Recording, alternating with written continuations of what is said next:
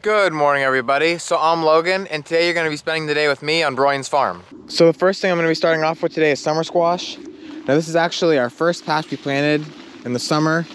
It's amazing that it's still going, and we're also really lucky to be having it right now just because of the weather and that we haven't had a frost yet. So anything we get now is kind of just like a bonus, and we're really thankful that we're getting as much as what we're getting.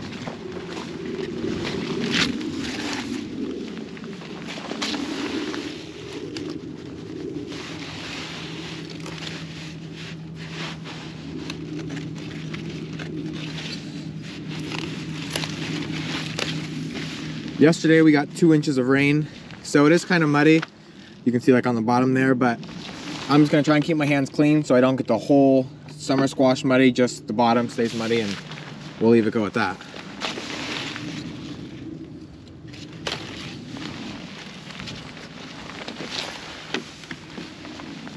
There is quite a few here. Even though with the colder nights, it's not they're not ripening as fast. But usually in the summer, we'll pick about every two days. Now we're probably picking about once a week, but like I said, we're just thankful to be picking what we're picking. So that's all the summer squash I got. Now I'm gonna move into yellow zucchini.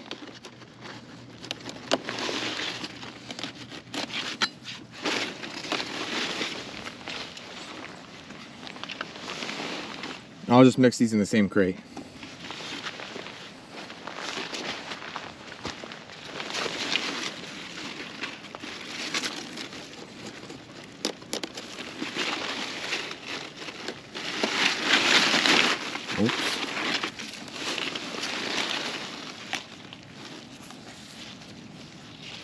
Get some of that mud off.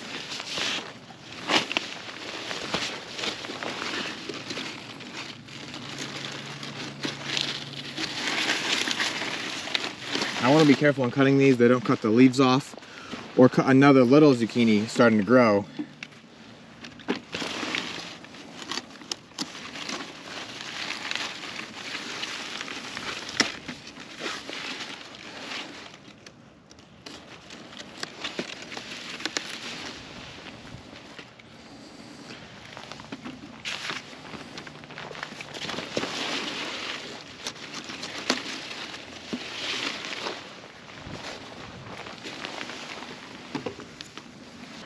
Now moving on to green.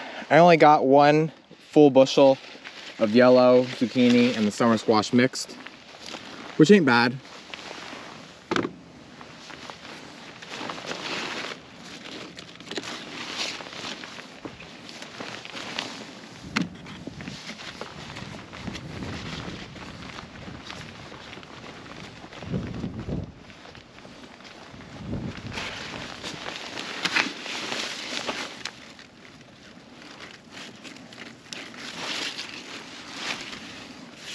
That's what I'm looking for right there. That's beautiful.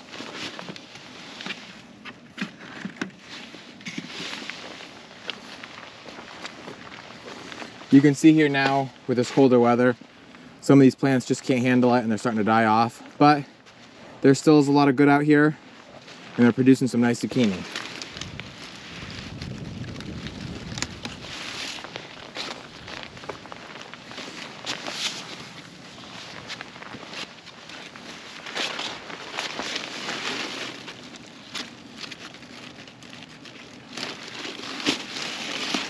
Now, I'm not sure if they're gonna make it, but this right here is what I'm talking about when I say I'm cutting. I don't wanna hurt those little zucchini. There's one, two, three, at least three little zucchini right there. I wanna make sure I don't cut.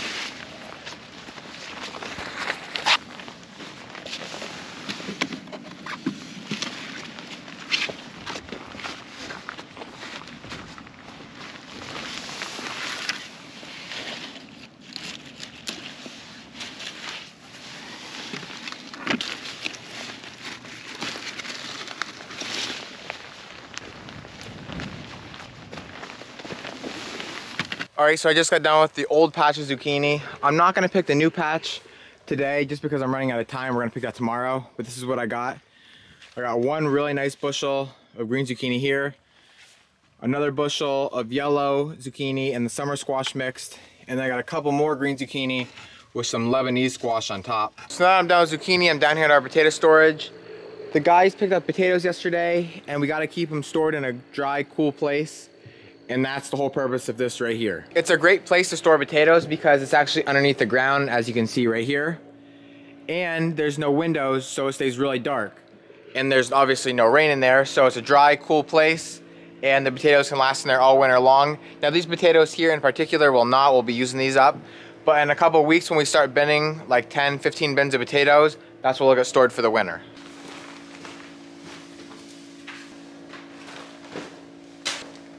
All right, so as you can see there behind me, the potatoes are unloaded. Now I'm gonna move on to turnips and tomatoes. Turnips are one of my favorite things to pick on the farm. I love their colors with that dark purple mixed with the white. I love when you pick them, how the leaves pop, and it's kind of like a little scavenger hunt. I gotta look all over, try and find the big ones, search around a little bit, find another one. It's my favorite.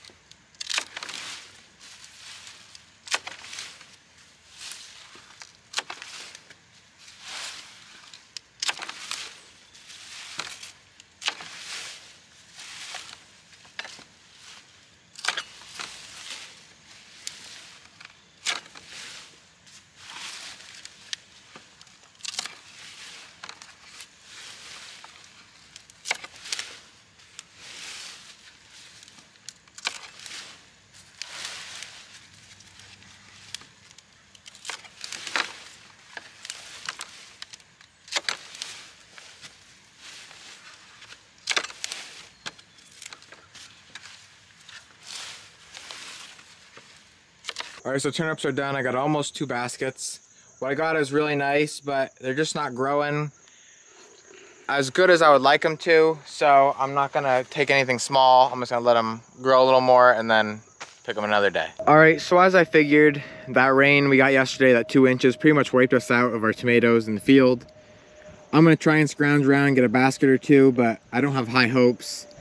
Um, that almost every single one, even when it looks good, it's not like if you see this one right here, it looks good, you turn it over, it's bad. So, I mean, that's just, that's just what happens. That's just time of year now. Um, I'm not really upset because we had a great year and I'm just thankful for what we got.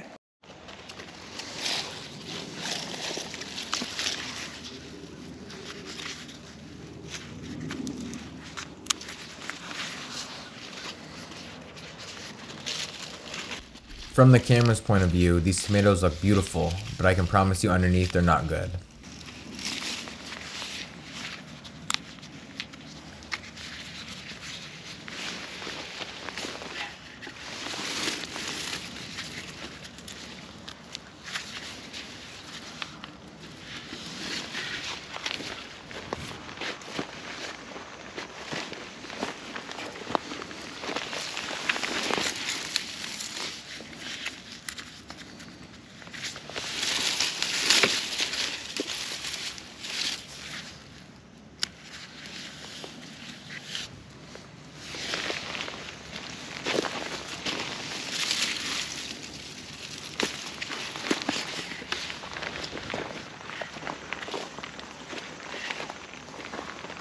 I walked around for a little while in hopes to find a section of good tomatoes, but there really just wasn't any.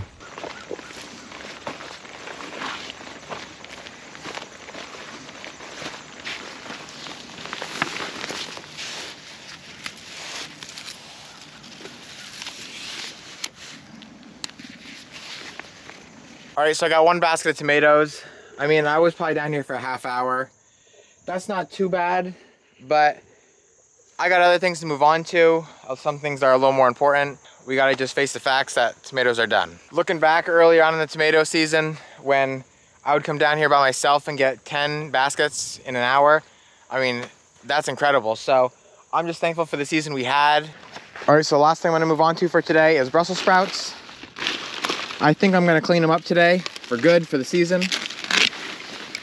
And the thing about Brussels sprouts is that when they're ready, you need to pick them because if you don't, what happens is the bottoms start to get too mature and then you start to lose a lot of them. Like almost all these down here are bad, so I just cut it up a lot higher than what it should have been cut. But that way, I don't have to worry about cleaning them off now. Every single Brussels sprout from the bottom up is perfectly good.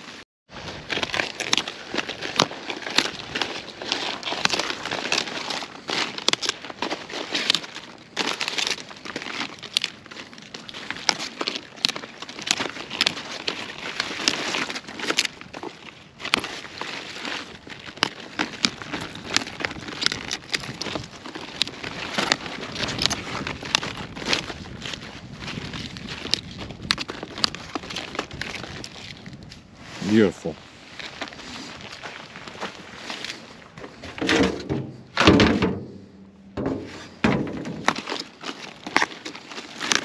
When you're pulling these leaves off, you need to be careful.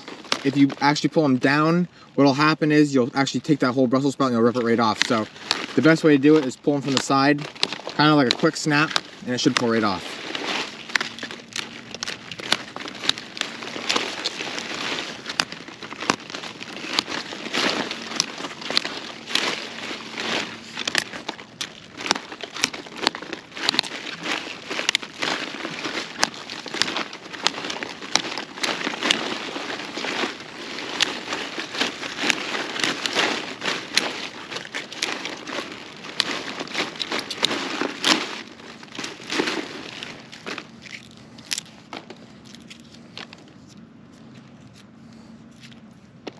See that one right there is bad. So let's take and pop that off. Now we're good to go. All right, so I just got back to the shed here. I'm in the cooler, got the Brussels sprouts done. They're not very big compared to what we usually get, but the actual Brussels sprouts on the stem are nice, so that's all I'm really worried about. So I think that's where I'm gonna call it for this video. As always, thank you guys so much for watching, and I hope to see you in the next one. And always remember, it ain't much, but it's honest work.